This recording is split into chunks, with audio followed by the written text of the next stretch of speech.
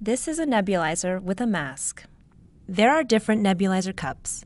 Your healthcare provider will tell you which cup to use for your child's medicine.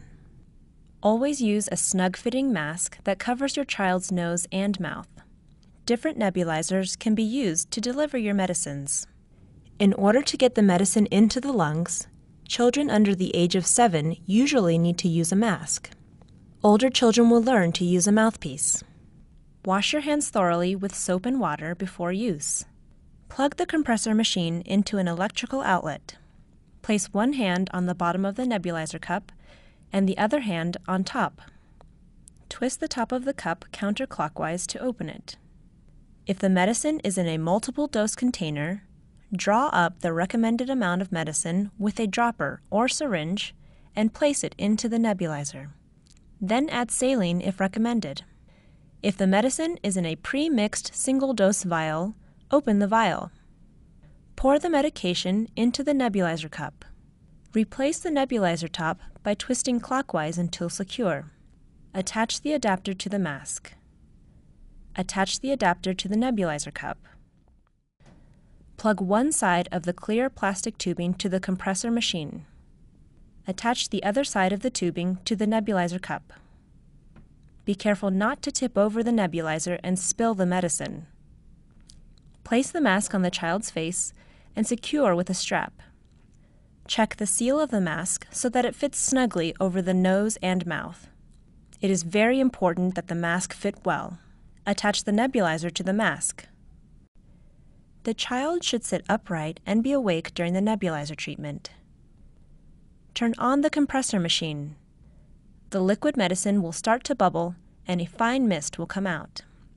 If the nebulizer is not creating mist, pour out the medicine, rinse with sterile water, and start over. If you still do not see a mist, replace the nebulizer cup. The child should breathe in and out normally until all medication is gone. A treatment should take about 10 minutes, depending on the nebulizer. If possible, take an extra deep breath every 10 breaths and hold for 5 to 10 seconds before breathing out slowly. Tap the cup so droplets of medicine on the sides can be nebulized.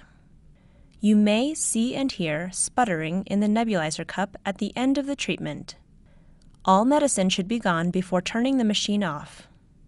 If the mask is not touching the child's face during the treatment, the medicine will be lost into the air and will not get into your child's lungs. Do not blow the medicine in or near your child's face. This will irritate his eyes and less medicine will get into the lungs. When the medicine treatment has finished, wipe your child's face. If the medicine is an inhaled steroid, have your child rinse his or her mouth and brush his or her teeth after each treatment. Make sure you rinse and spit and don't swallow. After each treatment, take the nebulizer apart and remove the mask. Remove any mucus from the mask and clean it with hot soapy water. Rinse. Allow it to air dry. Rinse the medicine out of the nebulizer with sterile water after each treatment. You can make sterile water by boiling tap water for 5 to 10 minutes. Then let it cool. Shake off any excess water and air dry by placing on a paper towel. Clean and disinfect the mask and nebulizer once a week. Clean the nebulizer by washing all its parts with soap and warm water. Rinse with clean water.